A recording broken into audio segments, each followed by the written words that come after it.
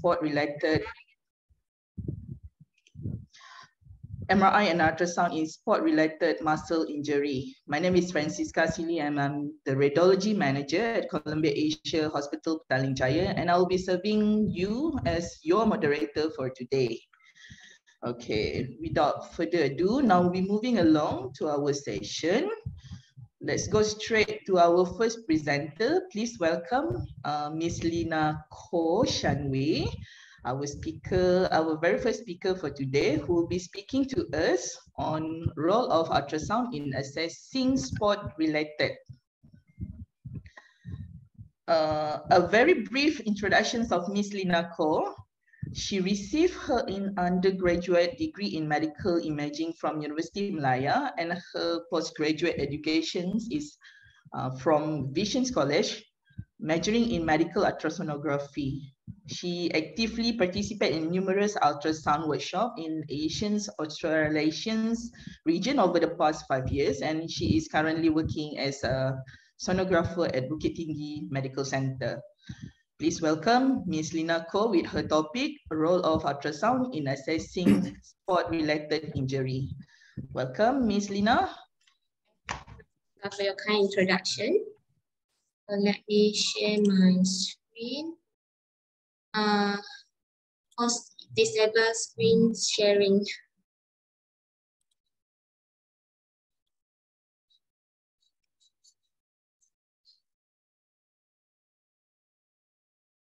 Okay. Okay.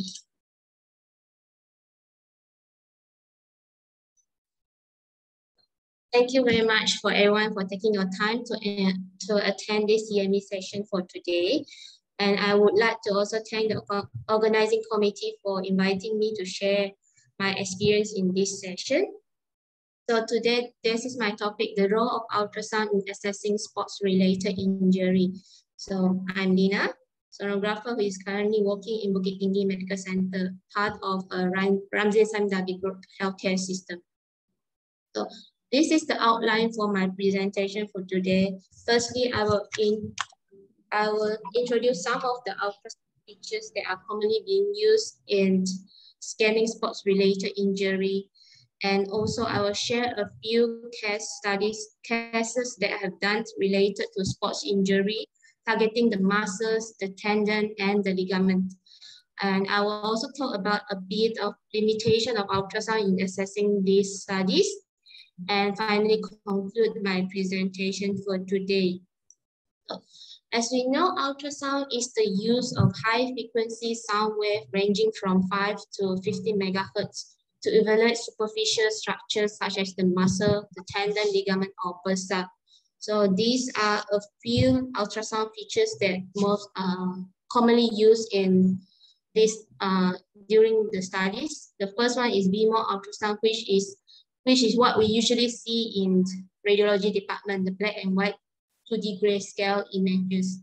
Secondly is color and power Doppler studies. This is used to demonstrate blood flow in the region of interest. So color Doppler is able, is able to give us directional information of the blood flow, but power Doppler does not give any directional information, but mm-hmm. power Doppler is much more sensitive in detecting blood flow. So in MSK ultrasound, we usually prefer to use power Doppler because we just want to know whether the region of interest, if there is any blood flow or no. The direction of the blood flow is not very, uh, is a, is not very uh, informative for, uh, it's not very important for us.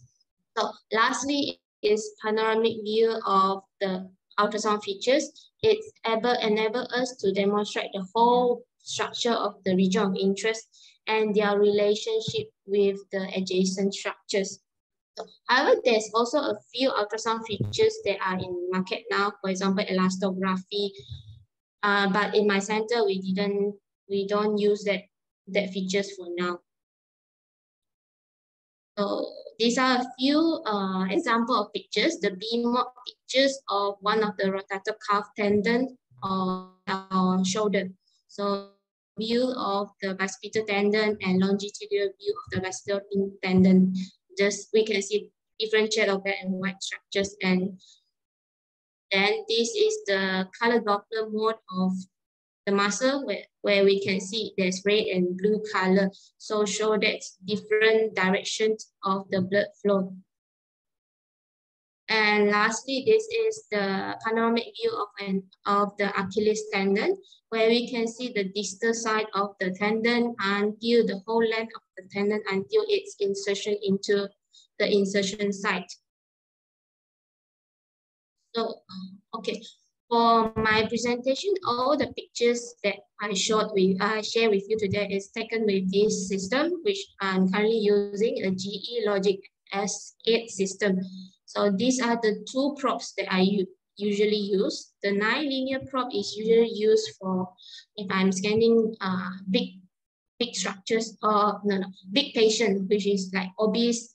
Uh, this uh, the nine linear provide better penetration to see deeper structure.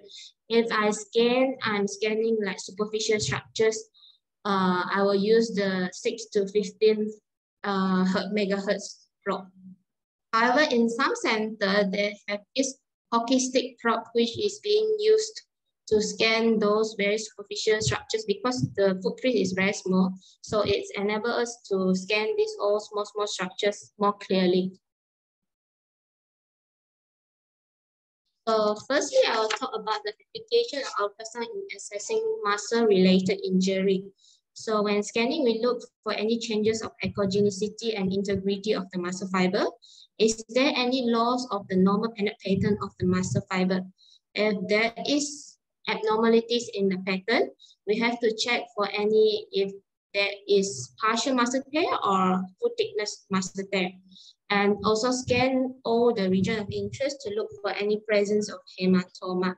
And for me, the most useful site for detecting abnormalities is compare the affected site with the contralateral site, the unaffected site see whether there's any differences in the ultrasound appearance.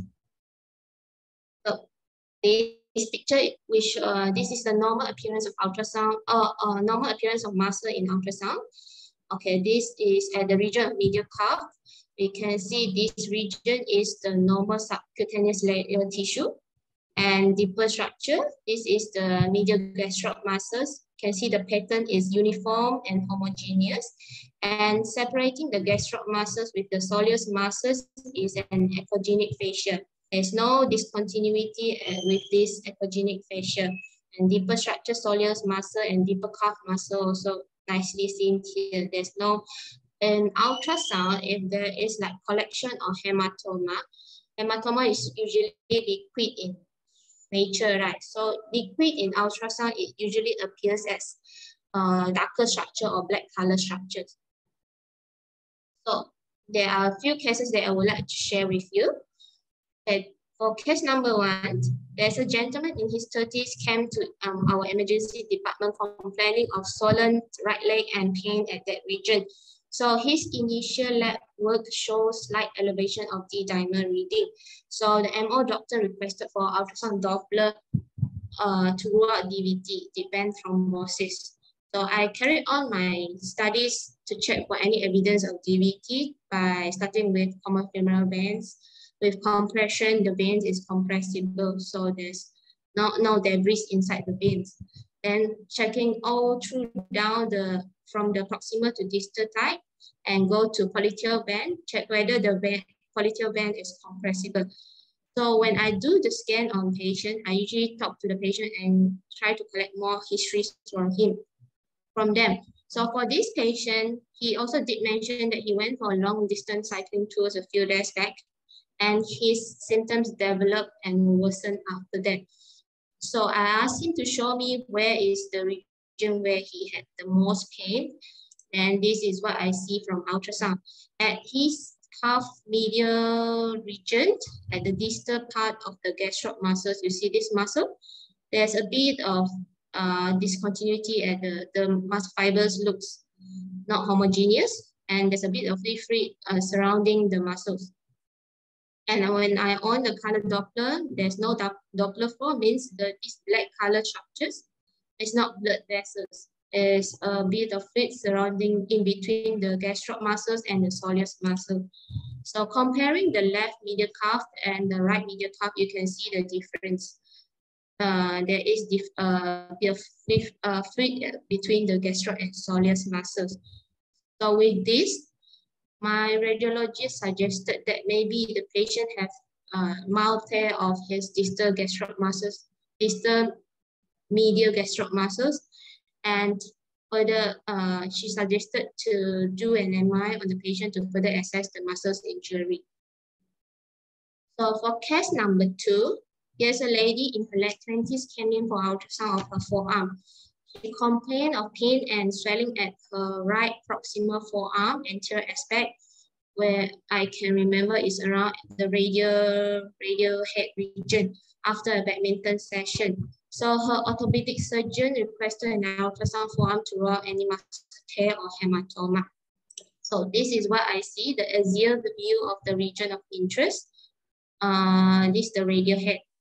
The longitudinal view, the radial head is the muscle, which is, which this is the area where she complained pain. So this is the muscle that I see at that region. This is, I think, is a brachioradialis muscle. So when I compare the right forearm, the affected side with the unaffected side, the left side, you can see there's a significant difference between the two the, the muscles. The left muscles, you can see uh, is homogeneous. When comparing to the right, there is uh, areas with brighter structure, more echogenic, and areas with darker structure, more hypoechoic.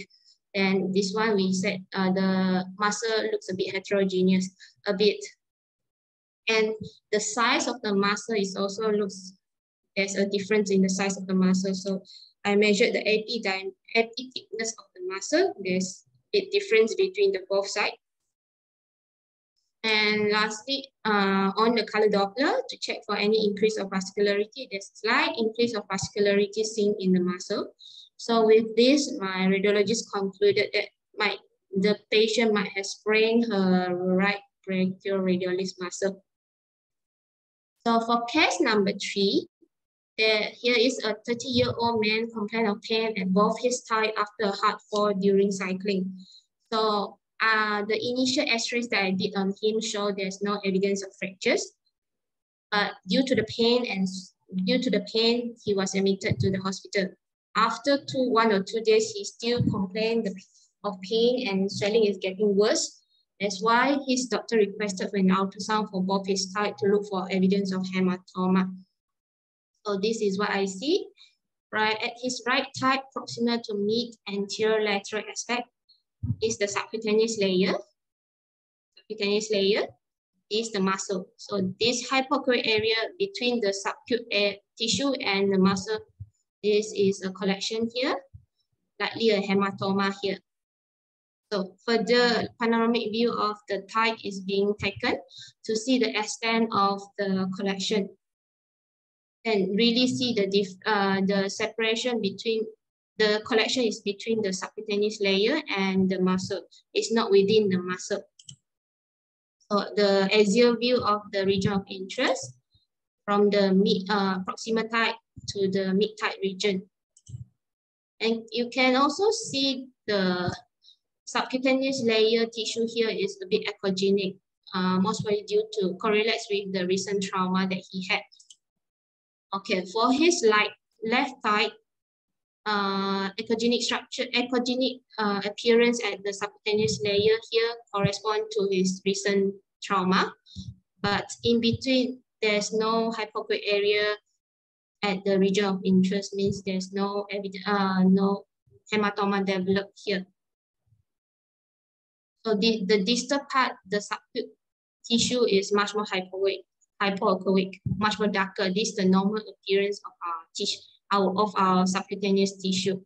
This one is due to the contusion that he had recently.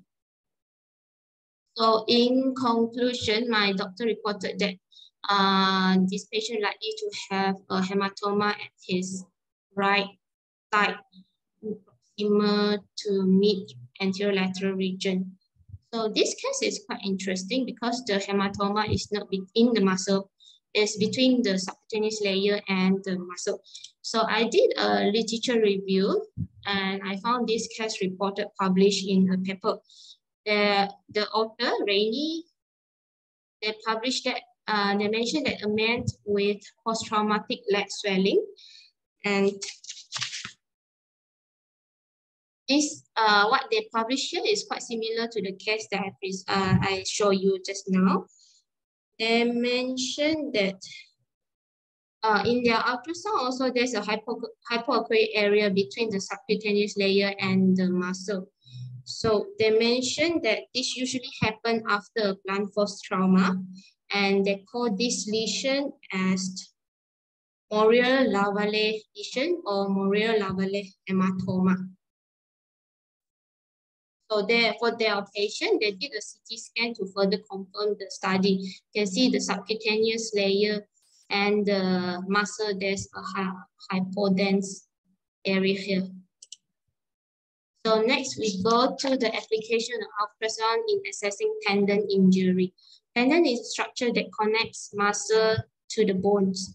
And in scanning tendon is very important for us to minimize anisotrophy artifacts because this artifact can always lead to misdiagnosis and cause us to think that the patient might have tear or tear at the tendon.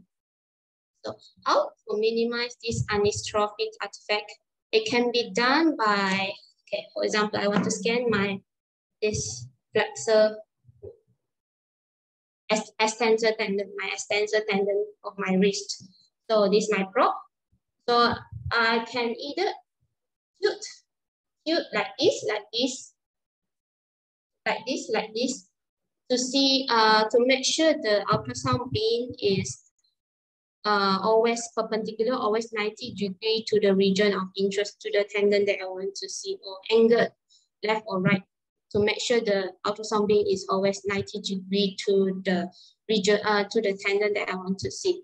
So in scanning tendon, we assess the echogenicity, the thickness, the continuity, the vascularity of the tendon. Uh, check whether there's any tendon tear or tendinitis.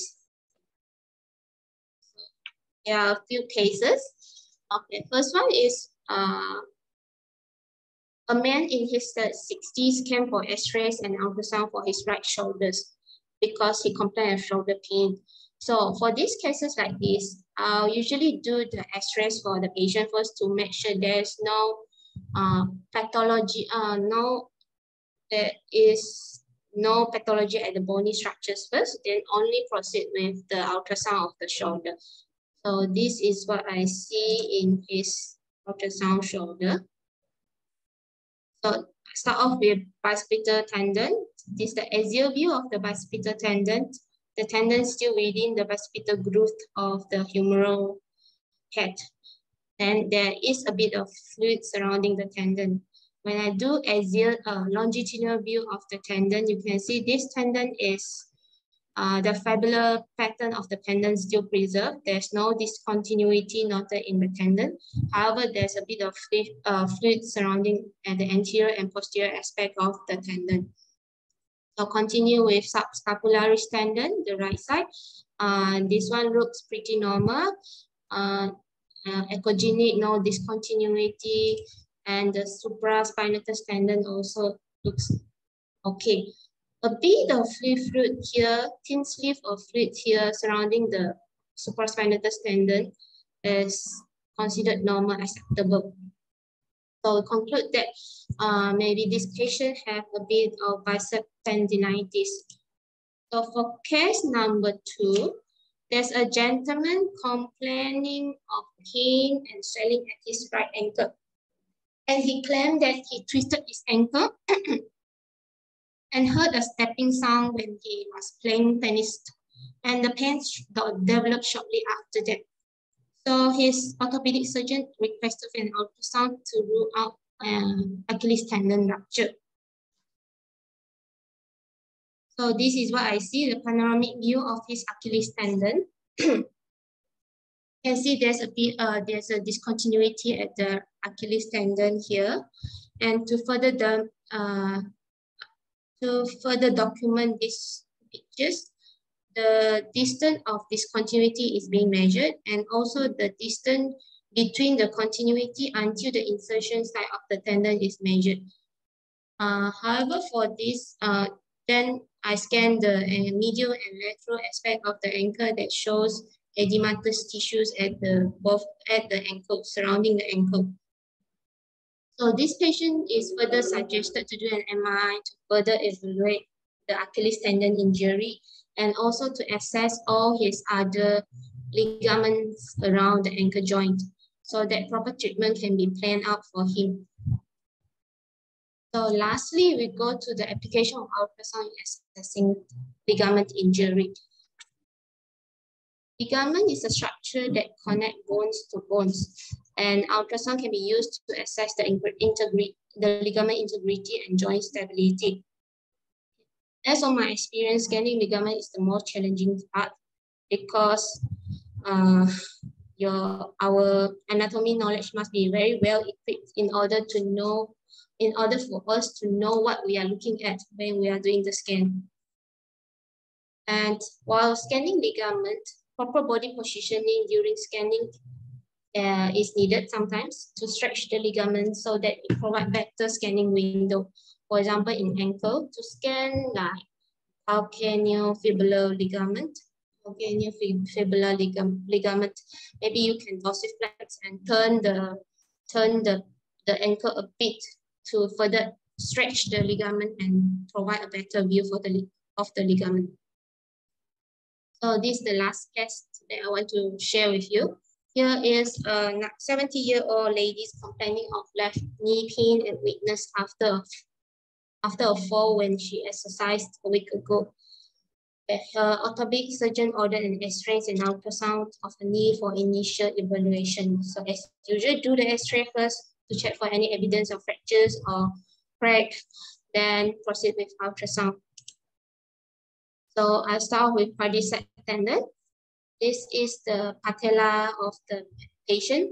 You can see the quadricep tendon extends superiorly a bit of fluid surrounding the tendon is normal. This is the axial view of the tendon.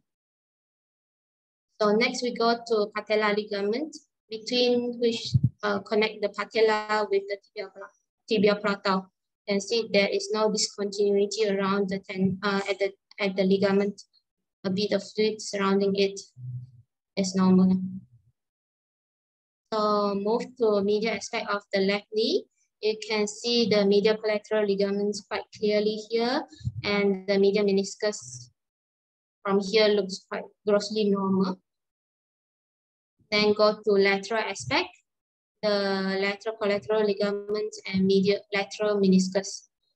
However, all, uh, then I move to her popliteal fossa. This is what I see, a cystic patient with a neck here. So usually with this picture, we can think of Baker cyst. So measure the cyst in three dimensions. And you can see the cyst here, there's a bit of echogenic debris within it. So the I think the orthopedic surgeon further uh, suggested the patient to further evaluate with MRI so that they can have a more clearer image. From ultrasound also, uh, we have we from this study we cannot see her anterior posterior cruciate ligament clearly because it's with is in between the bones. So uh, MRI is suggested to further evaluate this that structures also. So here are a few limitations of ultrasound. Ultrasound hardly, as I mentioned earlier, hardly penetrates bones, cortex, bony cortex. It can cannot be used to visualize intra-articular injury, for example, the posterior and anterior cruciate ligament Okay, MRI still remains the gold, gold standard to diagnose such an injury. And ultrasound is highly operator dependent. And to do an, a good ultrasound, a detailed knowledge of musculoskeletal system is necessary so that diagnostic value, uh, images of diagnostic value can be provide, can be obtained during the scan. So in conclusion, ultrasound do play an important role in assessing sports-related injury uh, because it is widely available, cheap, fast procedure, and most importantly, tolerable by most of the patient. And it uses non-ionizing radiation and suitable for pregnant lady also. And at the, um, at the meantime, ultrasound also able to give dynamic evaluation on the muscle, tendon, and etc. So these are my references. And with that, thank you for your attention.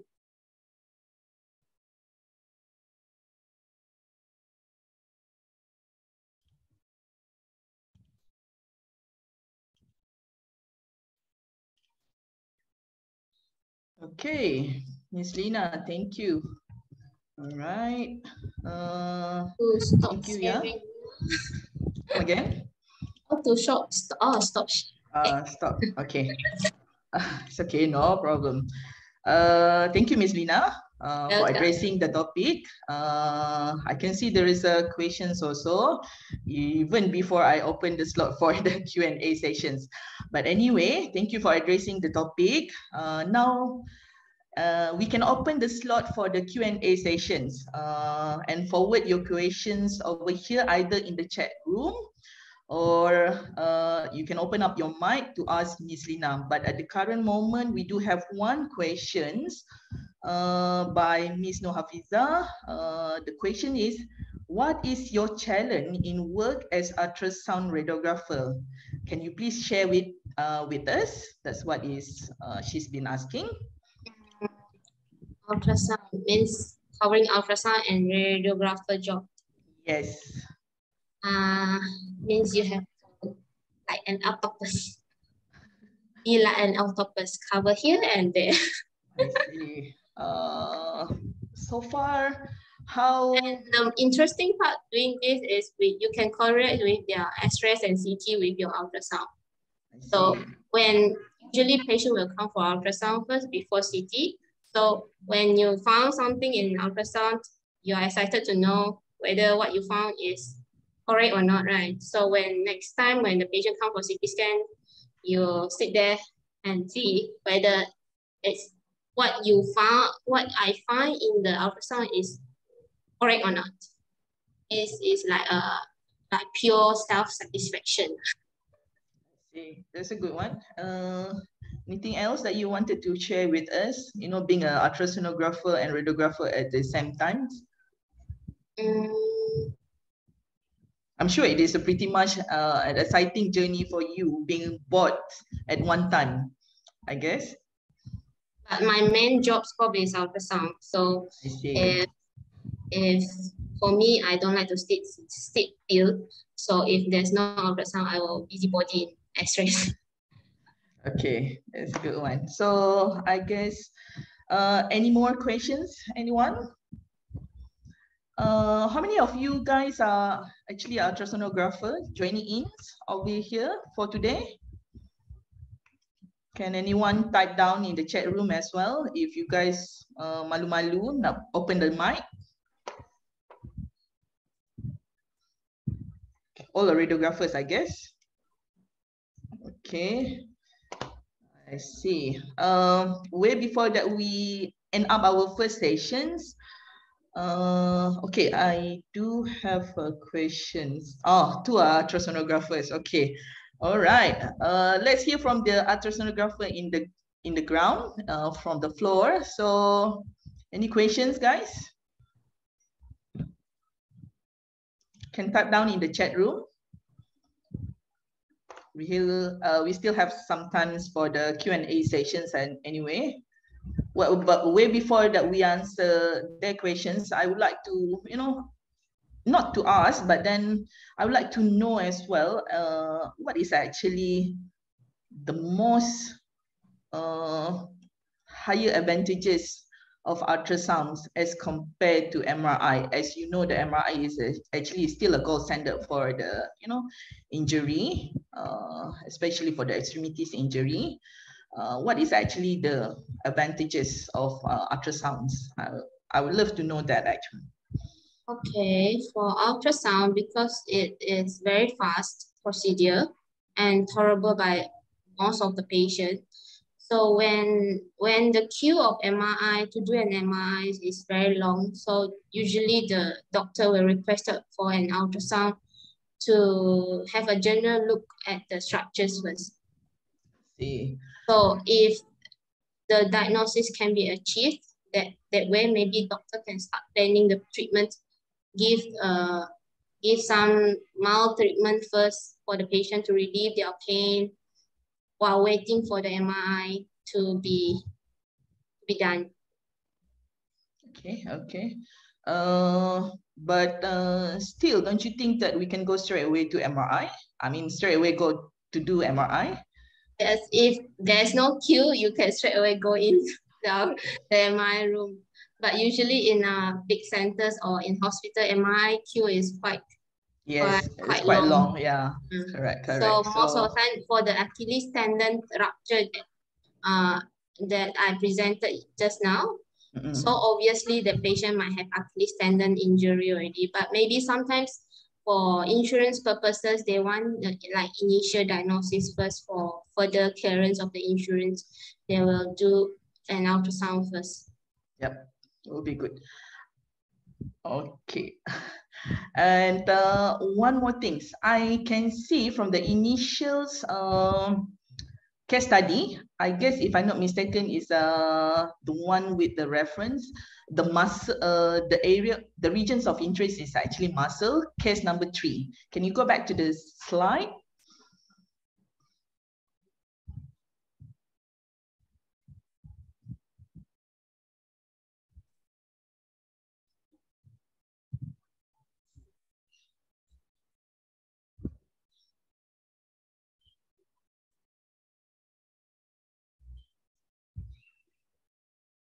Ah, yes, this is the one. Okay, can you go to slide number 11?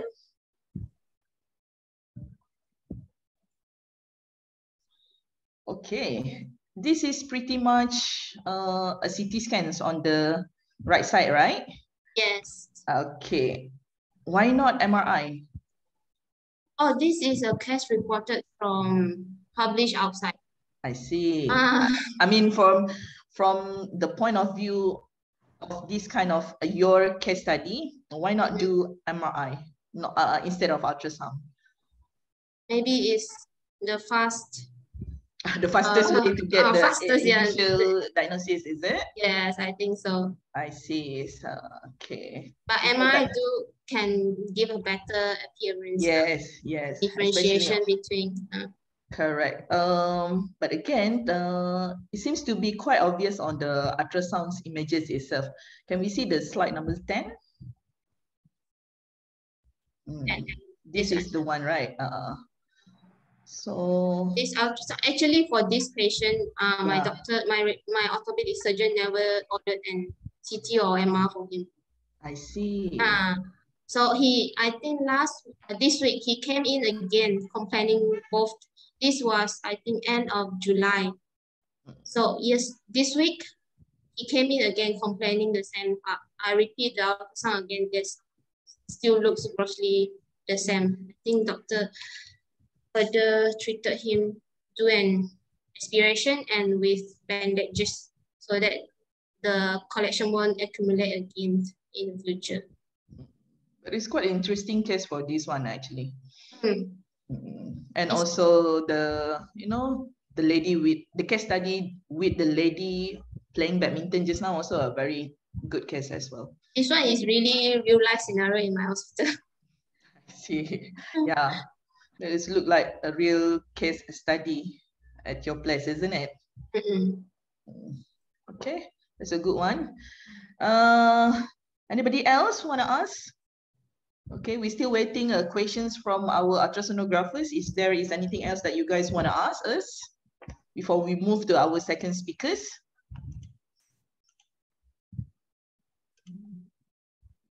Anyone? One question for me. All right. Lina. Yes. Good morning, Lina. Okay. Uh, well, I just want to ask uh, why you choose to be a sonographer? Instead of being a diagnostic radiographer, we can focus on MRI, CT. And why you choose ultrasound? Why I choose ultrasound? To be honest, it's better pay. but I still choose to do radiography work. so I can do both at the same time.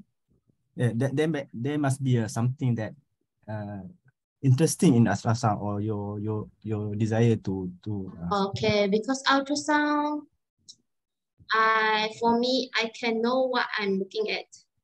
I have to find the problem.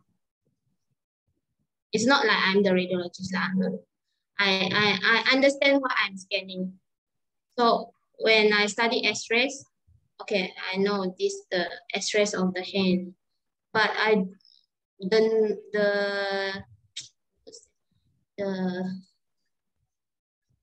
the very obvious pathology, okay, we can identify, but like small, small pathology cannot really identify. So when I get posting in ultrasound, it's quite interesting to see what the sonographers find during the studies. So that made me want to study ultrasound also. And by the way, my lecturer also encouraged me to go for ultrasound. So I took up one year course, but the cost is very expensive. I, but I think it's worth it. Thank you.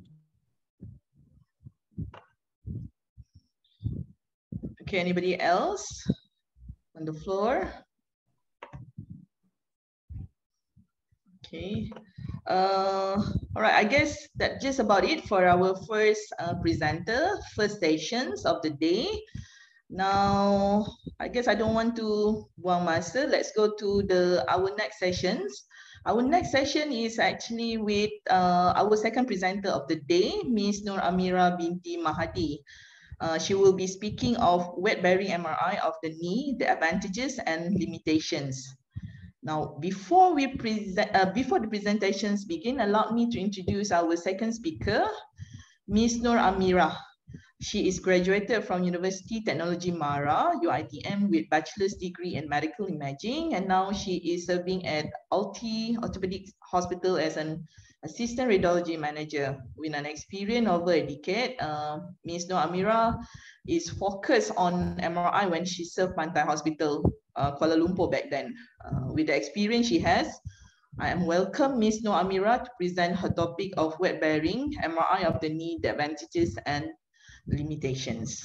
Welcome, Ms. Nur Amira. All right, thank you and good morning, everyone. Okay, so uh, my name is Nur Amira Mahadi. So for today, I would like to present uh, regards to MRI weight bearing. Uh, just let me share my uh, screen. Hold on.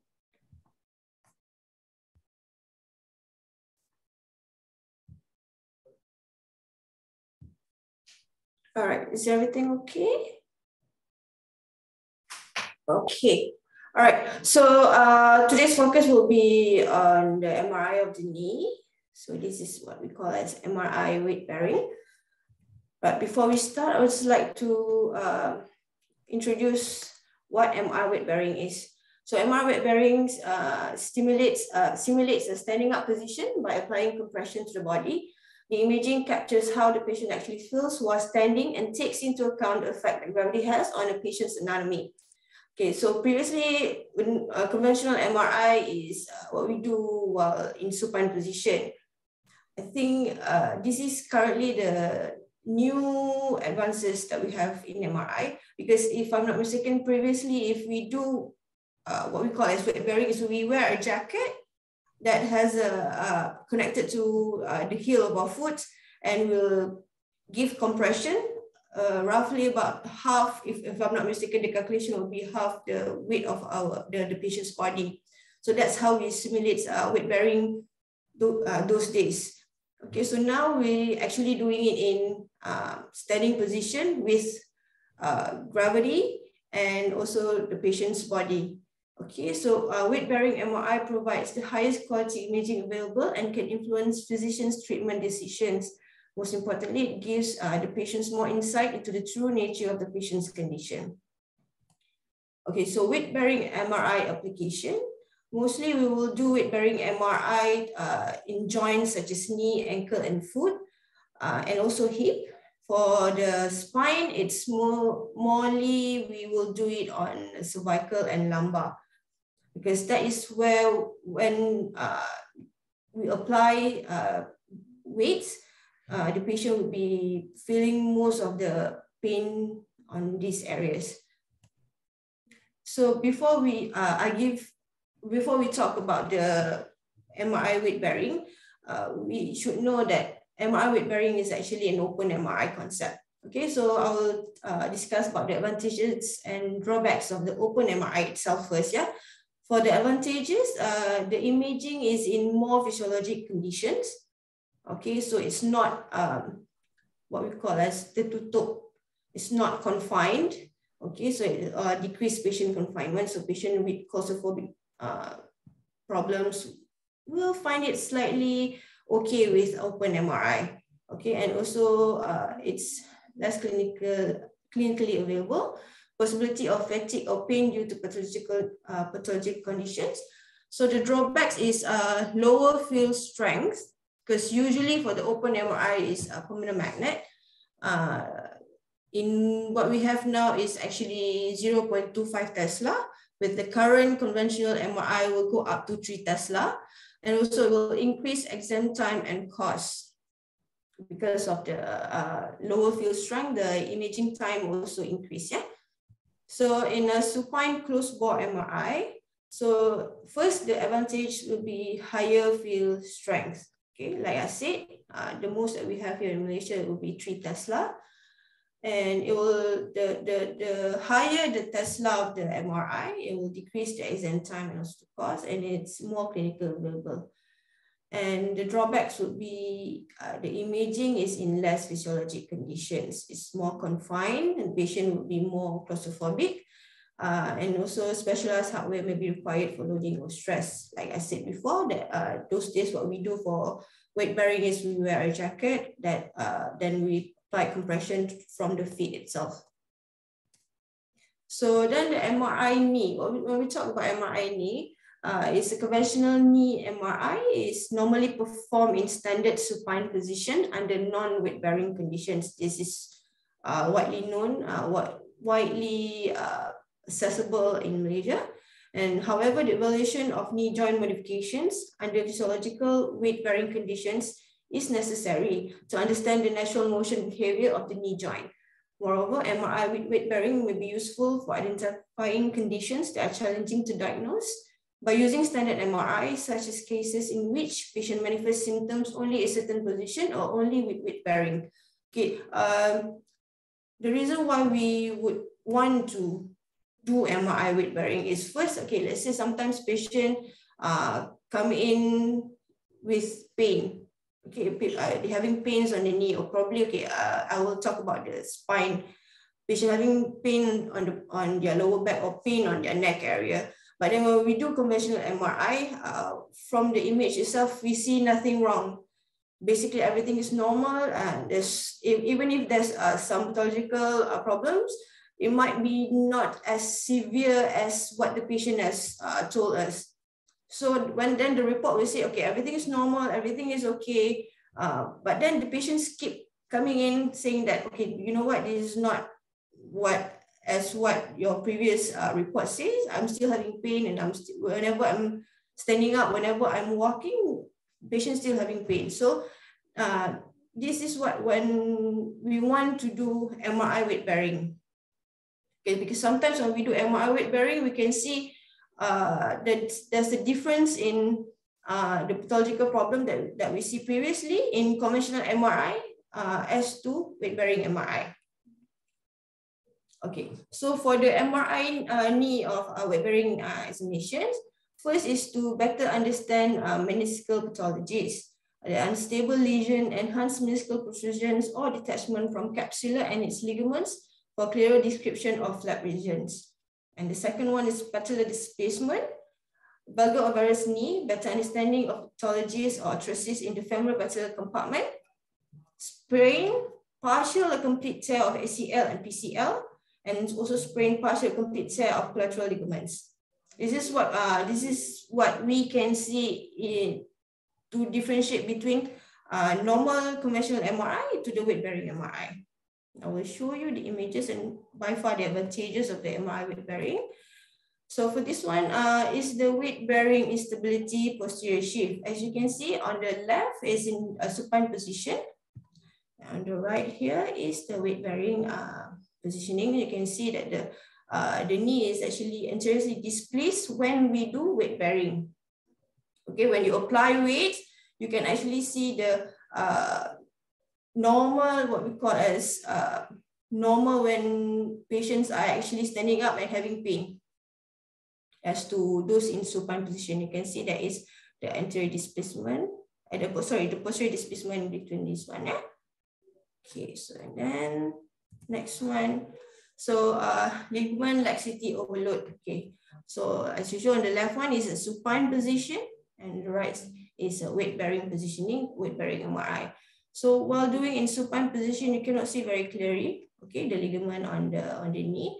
While on the weight bearing positioning, you can see very clearly when we apply uh, weight, when we apply pressure, the ligament is uh, quite clear in these uh, images. You can see very clearly, yeah? So, and then this is the uh, patella subluxation. Okay, for those patients sometimes that are that came in like uh, they will say while walking and while like running, they will feel like sometimes their patella, orang punya apa uh, lutut lari.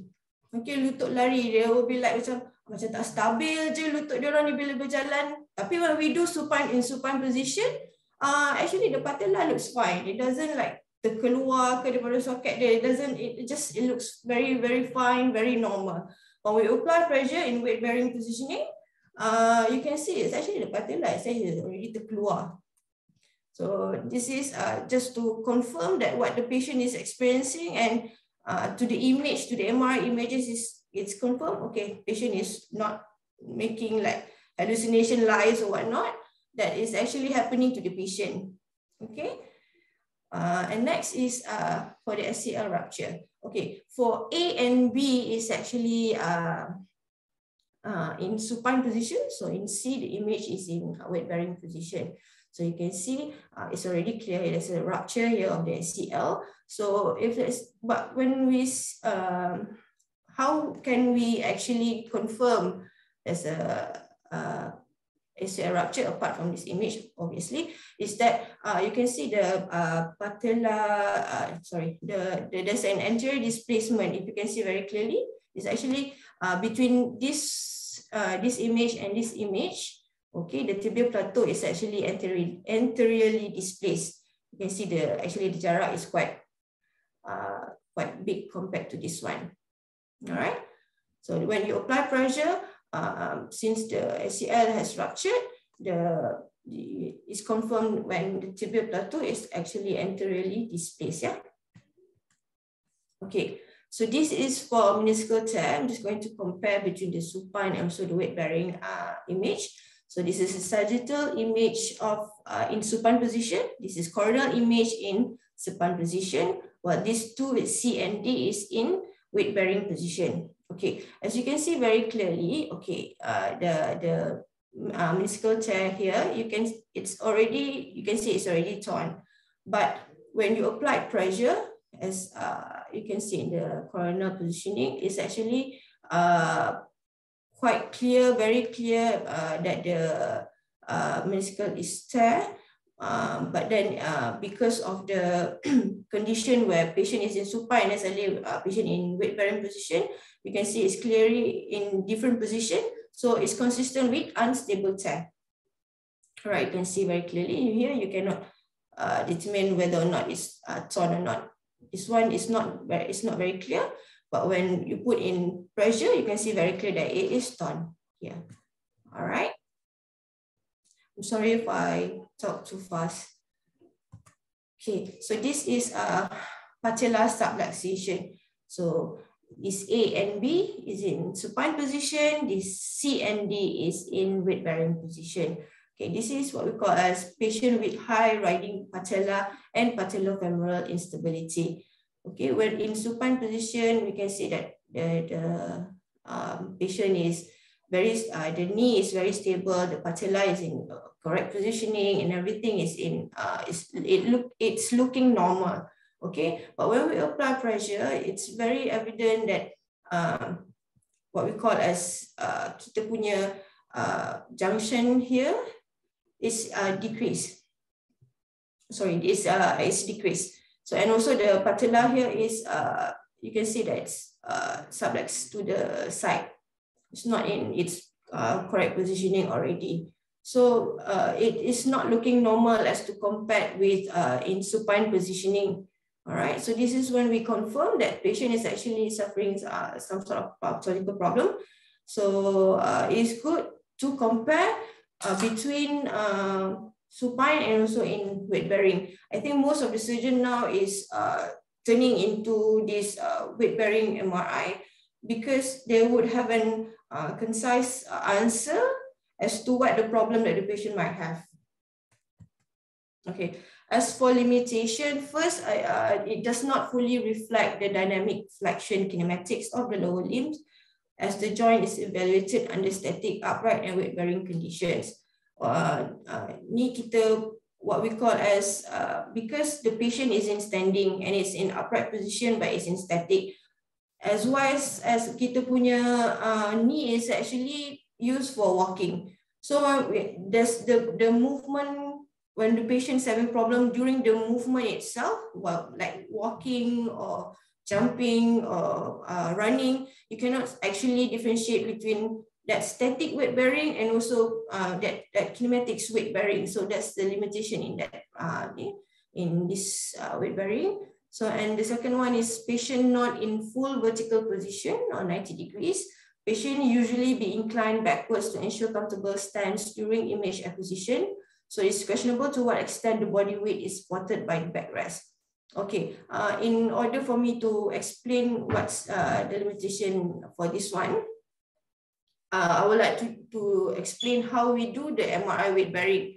Okay, uh, even though the uh, the weight the patient is in standing position, but it's not fully 90 degrees because if we put patient in a 90 degree position, sometimes patient uh, feel macam nak terjatuh sebab dia berdiri sangat tegak, so patient is not comfortable. So uh, what we do is actually we slightly uh, draw back the inclusion, which mean kita put into moreover like 81 degrees instead of true 90 degrees. So that patient uh, a bit comfortable, uh, patient akan put the weight mostly on their back. So this is the limitation because we don't put actually 90 degrees, we actually uh, turunkan patient sikit into 81 degrees. So to make the patient more comfortable because sometimes patient in is in so much pain. If we put into 90 degrees, they cannot withstand the imaging uh, procedure hours. Okay, so the third one, the joint is usually in bipedal stance, thus making it inadequate physiological knee loading institution where the body is completely transferred onto one leg. Okay, maksud dia adalah uh, in MRI weight bearing that we are doing uh, now currently, uh, is actually when patient is standing with both legs. It's not patient berdiri satu kaki saja. So whereas um, normally when kita berjalan, when we are walking or running or jumping, it's actually uh, uh, patient weight is mostly loaded into one leg when you're walking. Okay, when you're walking one leg to the left and then to the right. And so the weight is transferred from the left to the right, to the left, to the right, to the left, to the right. While the MRI weight bearing is actually uh, patient is just standing and standing with both feet. So it's not actually as the normal kita buat berjalan lah where the, the patient punya weight is, is on one side. Okay. So the kita tak tahu as to what extent as the uh, problem, the pathological problem that patient having sebabkan patient, patient punya weight is being shared with, with both legs. For the fourth one is long acquisition time in pain, making it not always possible to apply more than 25% of body weight through the foot. So this is uh, kita tahu kalau kita when we do open MRI, the time is actually longer. For example, yeah, here in RT when we do MRI weight bearing of the knee, it will take roughly about uh, for most normal sequences lah, normal MRI sequences, it will be roughly about one hour, one hour plus. However, kalau kita buat MRI weight bearing, we don't do all the sequences in weight bearing. What we do is, uh, sebabkan doktor nak compare between standing and supine position, we will do the weight bearing first. Berdiri dulu, we will position in supine position. We will just position patient in supine position. Bagi dia baring, kita centeredkan the image and everything. And only then kita put patient in a, a standing position. But then the sequences kita tak buat do all the sequences in MRI for the knee. We will only do roughly about two to three sequences. Mostly we will do PDFAT set and also um, 3D. And after that, we will put patient back in the supine position. We will do the rest. Uh, we will finish the normal sequences for the normal MRI of the knee so that the, the doctors can compare. That's why most people like macam doctor, surgeons also like very sometimes they keliru, very confused. Some when they ask for weight bearing images, uh, we will always tell them, doctor, we will only do two to three sequences in standing position because uh, we were advised not to put patient in standing position more than 15 minutes. Because sometimes when patient is in a lot of pain, they cannot always stand for more than 10 minutes, they will feel uncomfortable and also they will bergerak-bergerak and kan gambar pun tak berapa cantik lah. So that will lead to the fifth limitation, patient discomfort, which eventually makes the patient movement, thus degrading the images in MRI. Okay, so uh, and then the next, I will talk slightly about our MRI. is a Esaote G-scan MRI weight bearing. Okay, so in MRI, uh, in our SLT scan MRI weight bearing, we can do dynamic MRI. So what is dynamic MRI? Uh, is the imaging of joints in real time. So while the joint is slowly moving and how is it done? Uh, sing, uh, very fast single slice excision techniques and the control can be moved either by the patients or the MRI tech or doctor. Okay, this selalu kita nampak CT dynamic. Now we will see MRI dynamic. Okay, so this is uh, roughly the contoh lah, the example. So this is what patient in static, which is patient in supine, static or standing. So you cannot see exactly actually patellar instability or whatnot. So when we do dynamic examination, you can see very clearly actually the patella is displaced or subluxation uh, occur. Can, can you see just now? This is the image for the 0.3 Tesla. Ours is 0.25 Tesla, roughly about the same. Okay, we'll see one more time in the dynamic motion. Actually kita boleh control the the how fast the image or the dynamic can uh, can be. So I think the this one they did it very fast. So you cannot see very clearly. But you can see here, it is displaced. The patella is displaced. All right. So for the G-scan is uh, patient comfort and economic design. So no claustrophobia effects. It's I mean it. This is for all the uh, open MRI, eh? open MRI, no patient claustrophobic, can do it here. And so uh, easy positioning. You can see the coil it's in, it's like a go-to coil for the shoulder. If let's say for conventional MRI, it's very close and also for positioning of the shoulder, it's quite uh, difficult for the patient, sometimes patient, big patient or whatnot. Okay. All right. This is what we have for the cervical coil, and this is for the uh, lumbar coil. We can do it for hip also. And then uh, what we do when we want to sculpt or localize is actually, okay, we cannot actually go into the room. What we do is, uh, while patient is positioning inside, we can see uh, at what we call as live images here. We just uh, click few of the buttons and we can see the live images and we can see whether or not the patient is in the correct positioning, whether it's centered or not, we can just always advise patient, okay, you can move uh, slightly in, move upwards a little bit while positioning patient inside the room itself. So we don't have to go in and out of the room. So the particles and uh, sequences and protocol are basically about the same with the conventional MRI with a few upgrades. Okay, uh, we have a fat suppression, uh, normal spin echo and gradient echo. This is uh, fast echo. This is normal as the conventional MRI. And then fat, uh, fat suppression, we, we do have stir We do have uh, X-bone as well. And for 3D, uh, uh, we usually do 3D SHARC and we do have 3D HYCE as well. Uh, and the current one, we have metal artifact reduction and real-time dynamic study, just like I've shown just now. Okay, so this is uh, the 3D SHARC uh, that we are currently uh, using for the open MRI weight bearing. So you can see very clearly here, the, all the uh, cartilage and all the problems is clearly shown, all the pathological problem is clearly shown in the image. We can see we can uh, differentiate uh, all the uh, anatomy in the patient itself. Okay.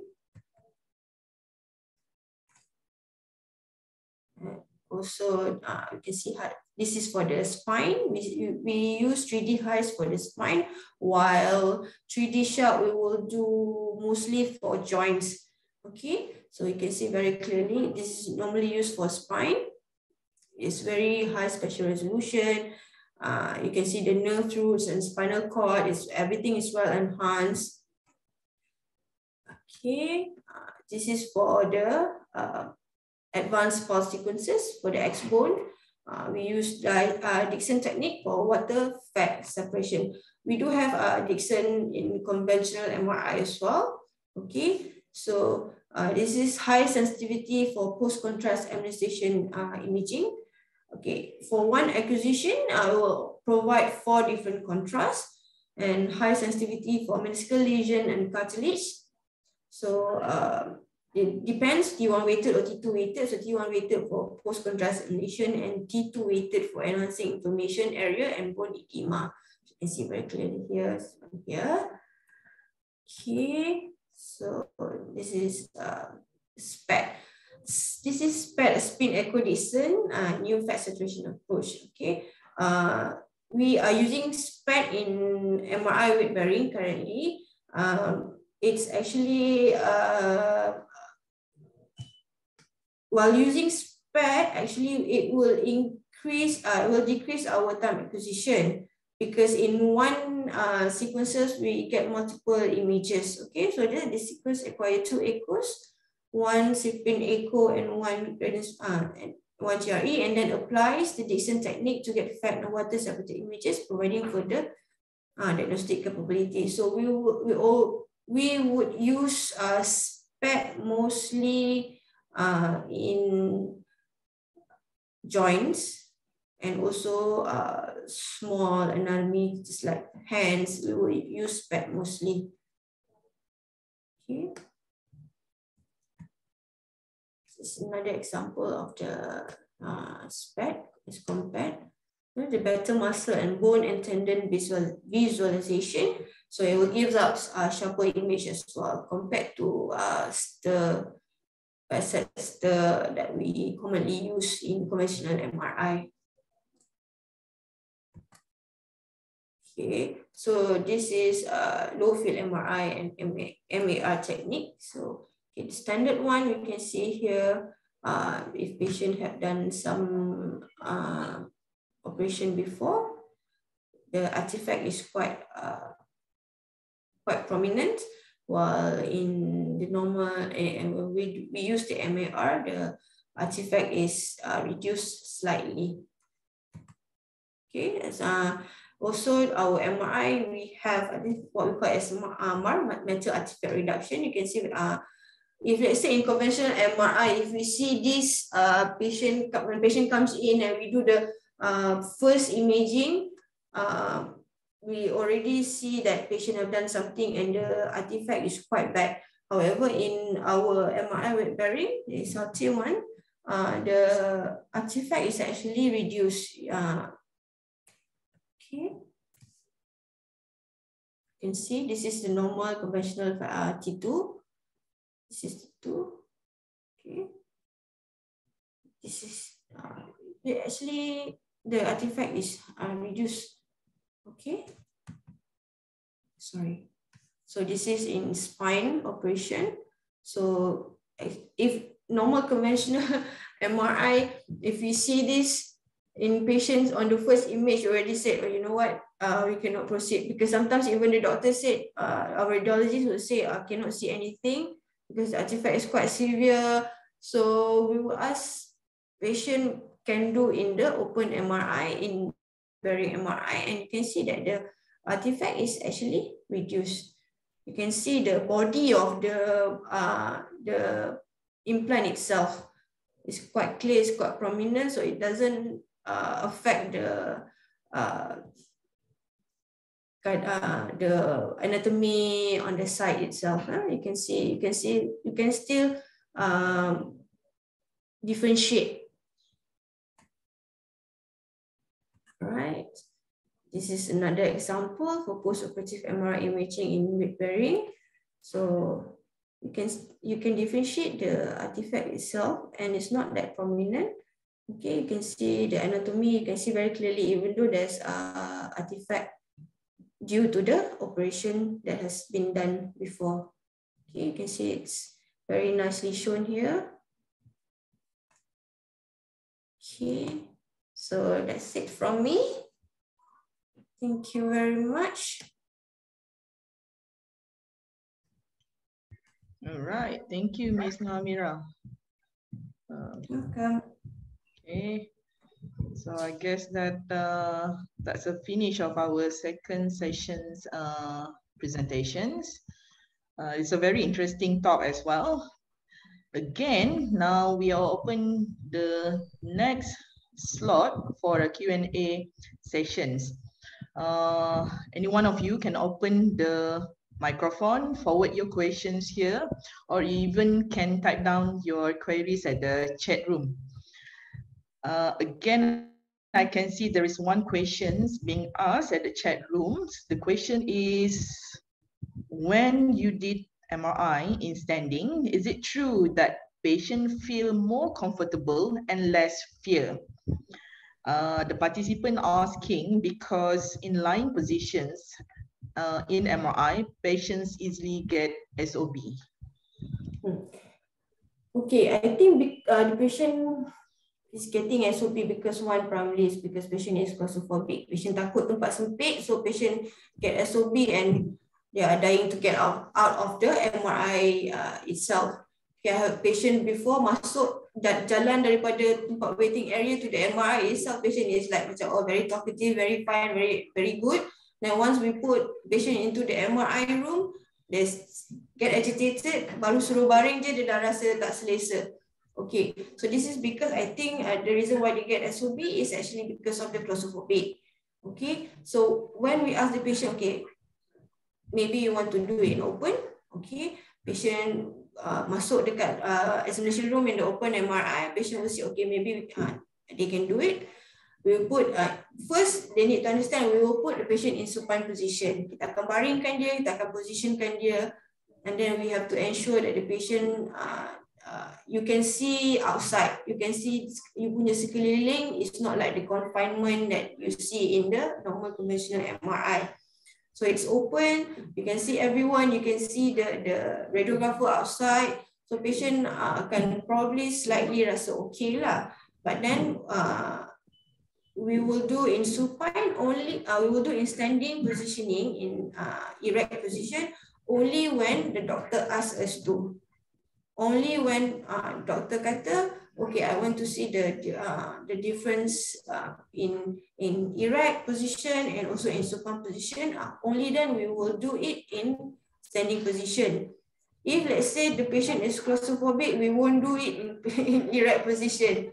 Uh, because it will only add more time to the patient and because orang at first kita akan bagi tahu patient okay kita boleh buat in open uh, MRI but you need to know that open MRI takes longer time.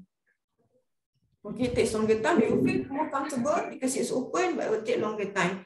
Sometimes patient uh, punya perasaan pun sebabkan masa yang lama tu, sebab tu dia dia rasa macam tak selesa. So we need to bagi tahu patient, okay, in open MRI it will take longer time. But in terms of doing it in erect position, uh, actually we will only do it if the doctor asks us to do. If the doctor never or, or if the surgeon never asks us to do it in standing position, we will just do it in supine position. Because there's no use you ask patient to do in erect position, having the patients to tambah lagi masa in erect position, uh, lagi tambahkan dia punya macam apa bukan nak kata ketakutan tapi dia punya anticipation lah, you you have to know that in standing position if let's say you ask the patient to do the whole sequence you won't want patient to do it in standing position for one hour we only do it in 10 to 15 minutes only max we don't do it in one hour full sequence no see That's a good one. That's a good sharing anyway. And I got another question. Uh, this question is actually very interesting.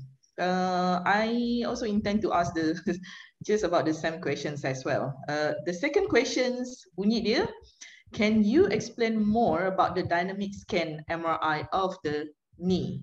Step by step, how you instruct the patients about the movement of the knee. Okay. Okay. They, they All right.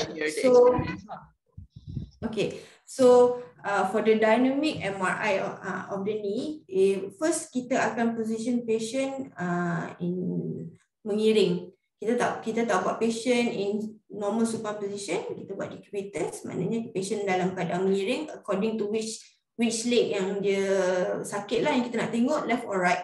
Okay, when we, we position patient in uh, dalam keadaan mengiring, uh, knee through the coil, knee through the core, centered and everything. And then uh, the protocol, the sequences is already in the in the system itself. They just have to uh, push a, a few buttons. Okay, we will do it in 3D. Mostly we'll do it in 3D. So apa yang kita buat is actually some nak suruh patient sendiri yang bergerak tu agak susah lah. So one of the radiographer will be inside. Dia akan bagi instruction or sama ada dia bagi instruction ataupun dia pegang kaki patient. So uh, the flow would be, okay, let's say uh, usually arahan yang saya bagi dekat staff dengan uh, patient is actually you you will hear it dekat MRI kan very loud. Okay, whenever we do the images, you can hear the sound different. Let's say kalau kita buat T2, dia punya uh, sound lain, dia punya T1 sound lain, 3D sound dia lain. Okay, so when we do the the dynamic is actually, uh, there will be count like uh, one, two, three, uh, the, the sound is different. So once the sound turns uh, different, you move slightly.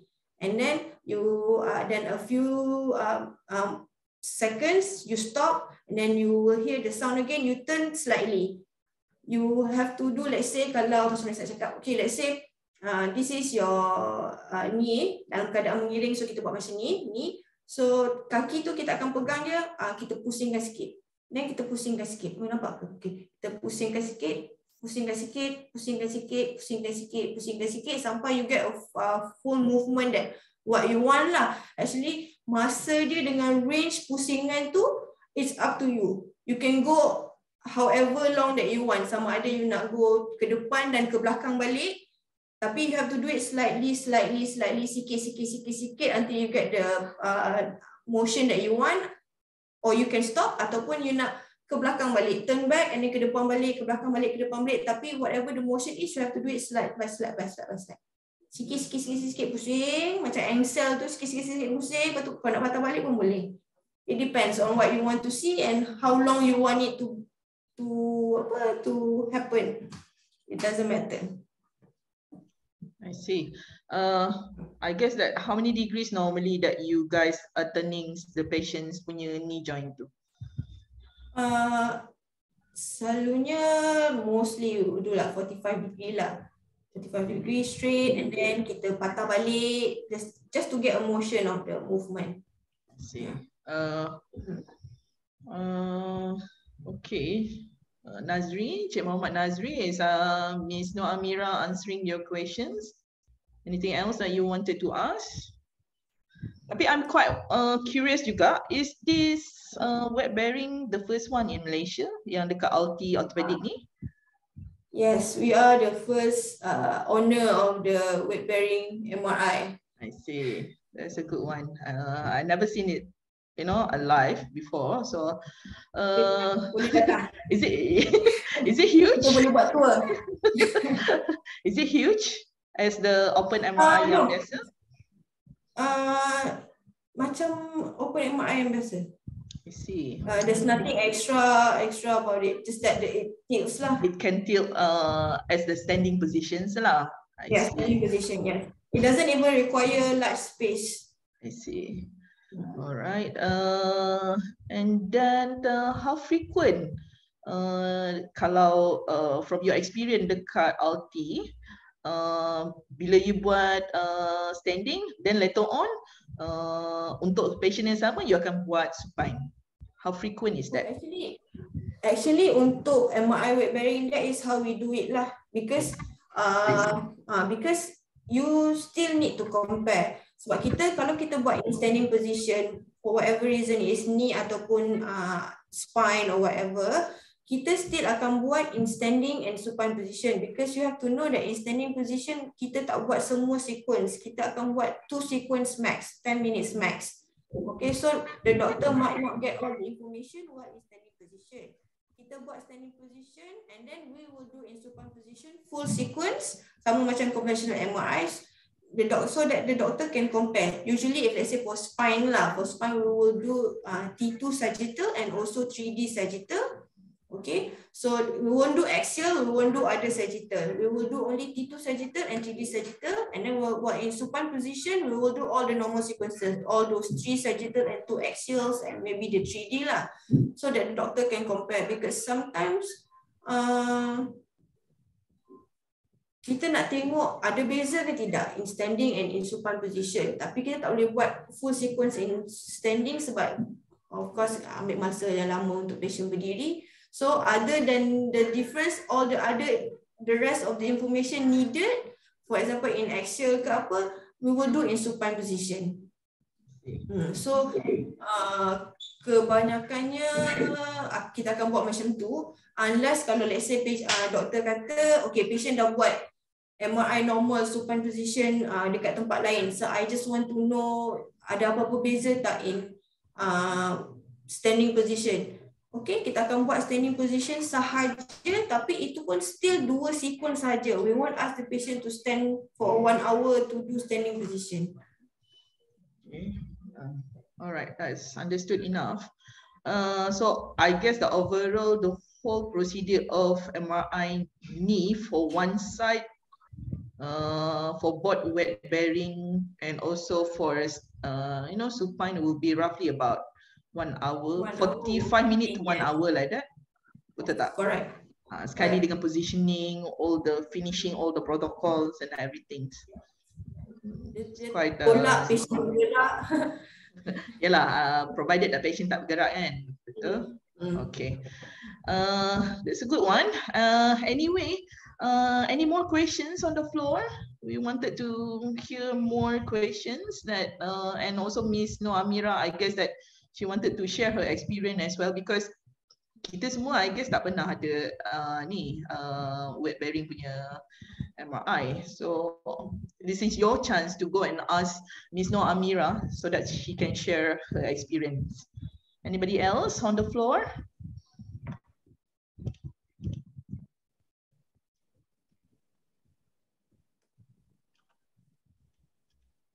Okay, I guess tak ada.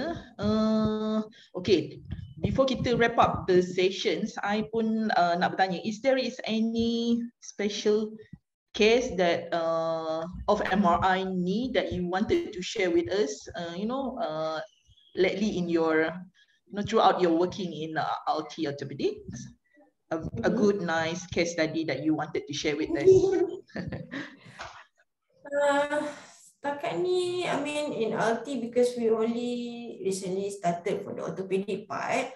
So I think tak banyak case yang rare lah orang kata kan. Cumanya uh, if let's say patient uh, having problems with joints, uh, doctor will either because we have another machine also which is very new. So sometimes doctor we'll do the MRI and, and then we will do the um, uh, the what we call as the, the new machine, X-ray machine that we have lah. So that one is for the comparison. uh, uh, pre uh, operation and after operations, uh, something like that. Because uh, kat sini in RT hospital, we mostly do, uh, let's say kalau operation pun uh, untuk patient yang having for TKR or UKR, So here kita banyak buat sequences sequences of if if if X-ray sequences yang kita uh, imaging yang kita tak pernah buat kalau kat tempat lain. Macam I've been working in pantai for how many years? Nine years, ten years. Then when we, when I come here, X-ray yang the doctor requested, doctor ask uh, is nothing like what have been uh, done before lah. I see. So even MRI MRI is basically the same in every uh, tempat pun kan semua tempat MRI dia punya protokol dia punya sequences uh, sama. So uh, mostly yang pelik-pelik tu tak ada lah. Cuma pernah nampak uh, patient pasang macam saya kata kata pasang pasang susuk dekat kaki. Yang kita macam kenapa nak pasang susuk dekat kaki kan? Lalu kita nampak pasang susuk dekat muka.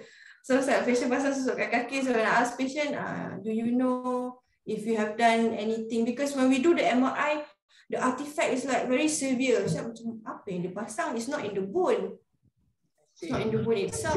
Ah, it's not in the bone itself. There's macam artifact is everywhere, but it's not in bone.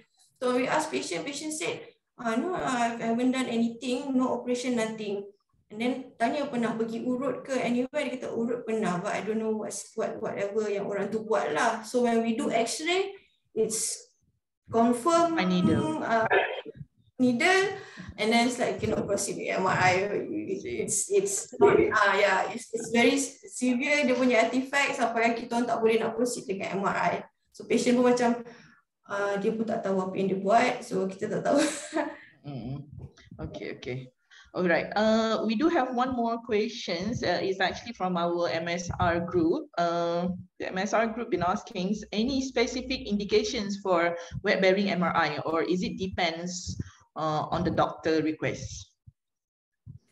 Uh, selalunya indication, the first thing indication is doctor just want to compare lah between uh, berdiri and also in uh, supine position. And also we will see uh, the doctor request lah. Usually doctor akan request uh, okay I want to do in weight bearing.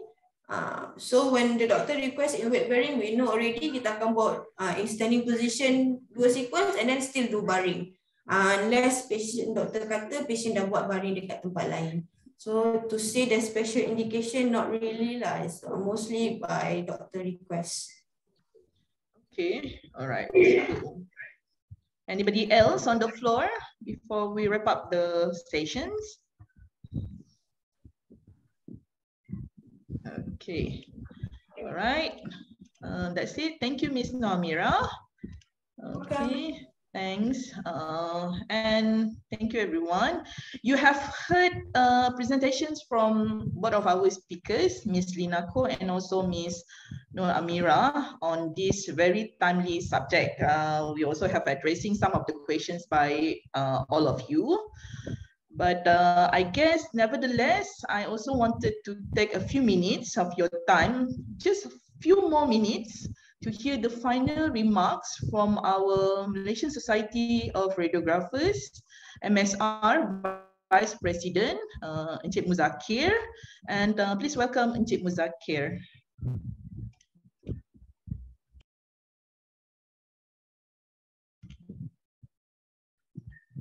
Encik Muzakir. Okay. The floor is all for you. Okay, uh, Assalamualaikum. very good morning. Uh, selamat pagi. Uh, thank you, Francisca. Okay. uh, firstly, saya nak uh, inform that actually this this session is for our president lah, Mr. Sawan. But unfortunately, dia ada something else to do. Uh, so he asked me to replace to give something like uh, just short uh, closing remarks to all the participants. Okay.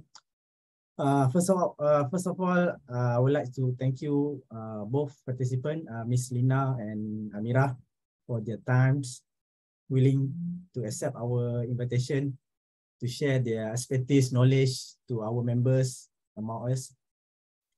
Actually, uh, basically, uh, we MSR, uh, what we do, we try to get, uh, we try to organize, get our members or among radiographer to share their knowledge, uh, their expertise, so that uh, we can update each other what is uh, currently happen in each center. Uh, for example, in Alti, they have a special weight bearing MRI. Uh, first in Malaysia, it's good sharing for us to know what is the how they operate the machine. Even though uh, kita tak dapat nak pergi sana kan, at least we get uh, short idea lah how they do it. Maybe we can if uh, we we have a relative ke yang I think perlu that imaging, so we kita ada channel. Oh, kita RT ada. Uh, so we can suggest. That's why important kita ada networking in MSR. so we get benefit. And then to other uh, participant, uh, thank you very much for your time during weekend. Uh, we try to do MSR, try to do what we can do. We we gather all, share knowledge, share experience, so that we up, always update our knowledge. Uh, uh, so that kita akan progress kita punya education uh, continuously even though uh, sebelum ni kita depend on uh, before the covid punya situation kita depend on the course attend weekly ataupun monthly lah but after covid kita dapat satu medium yang everybody dah dah common webinar kan online senang anytime kita boleh attend tak ada macam uh, very crucial nak kena transportation or anything kena pay for the accommodation. So webinar is a good medium that we can share knowledge among us. Uh, saya rasa we MSR will use this medium um, majorly to to share knowledge among radiographer either any special uh, specialty lah either ultrasound MRI we try to organize each month uh, CME lah. Hopefully kalau tak dapat uh, join semua uh, join yang you rasa you interested lah. Okay? And hopefully uh, uh, I or and my ESCO and AJK in MSR we we try our best to get uh, something to all MSR member dan juga non MSR member kan we we as a uh, radiographer, diagnostic and therapy, actually we are like a family. So we try to get together uh, to share knowledge, uh, get advantage. Uh, and then in our focus, macam Cik Syawal cakap sebelum ni, we try to go for uh, focus on research among radiographer. Because uh, in clinical, uh, evidence uh, based uh, practice. So with evidence, we can prove that uh, our profession is always up to date. So I hope uh, any radiographer in Malaysia that have interest, even you uh, fully ataupun uh, focus on clinical, sometimes you can do uh, just a simple research that sometimes we do do uh, what we call uh, retrospective study. We collect data and we analyze and then we present this is a, just a simple uh, research, but the sharing knowledge in clinical sometimes is very more valuable compared to the what we call the uh, special that new uh, investigation. okay. Okay, I rasa I tak macam nak cakap lama. We we can kan kalau cakap lama pun bosan. okay. Uh, uh, last but not least, uh, sekali lagi, thank you uh, our speaker, uh, Miss Amira. First time saya saya jumpa ni. Uh, Miss Lina, ini saya kenal. UM student. And then Francis, for your time to be a speaker. And to all participants, uh, thank you very much for your time during weekend. Maybe we can meet uh, again in the next webinar. And maybe this year, uh, MSR akan ada dua dua lagi event yang bersemuka lah. Uh, for example, maybe we will uh, arranged for uh, World Radiographer Day celebration. And uh, uh, bowling activity itu yang yang current lah. But Francisca, you will announce right? Any others? Yeah, yeah. Nanti yes, I can okay. announce. okay.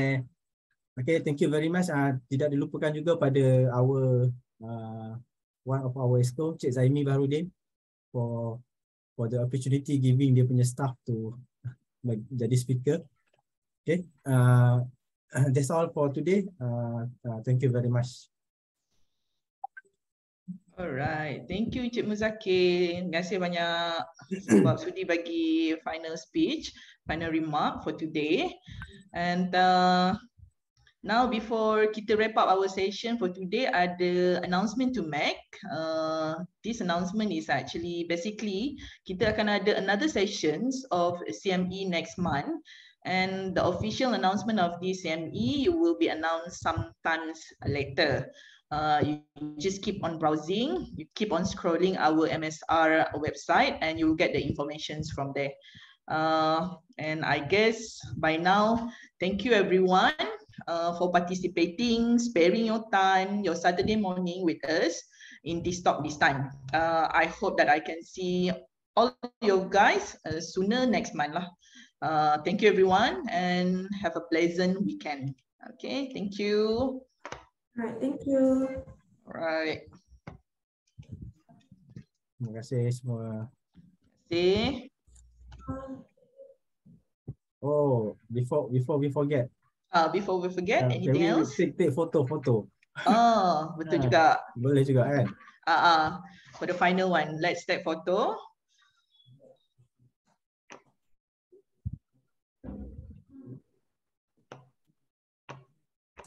Anyone yang willing to switch on the camera?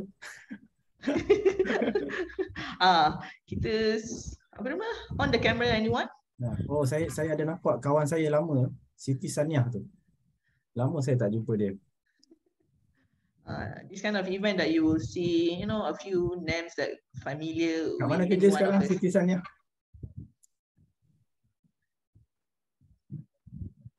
Lemak dia senyap lah. Nah, dia senyap. Boleh ambil tak? Uh, kejap. I think Cik Siti Sania boleh mute kot. Okay. Boleh lah.